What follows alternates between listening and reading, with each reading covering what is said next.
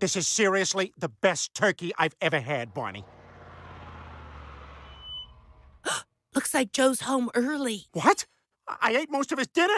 He's gonna be so pissed. I better hide.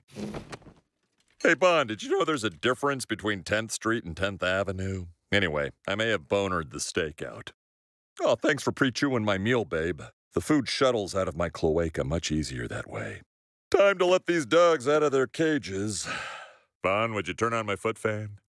I gotta create a distraction so I can get out of here.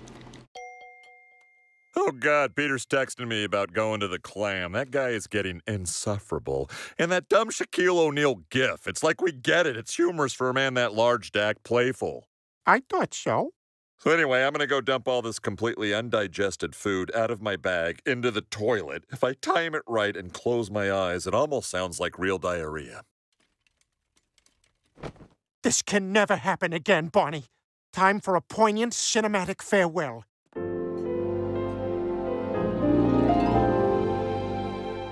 I don't like when Bill Murray is serious.